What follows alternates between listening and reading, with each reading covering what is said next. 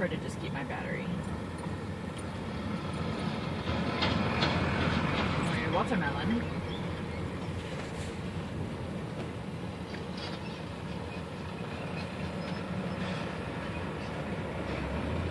Speed bumps are the great equalizer.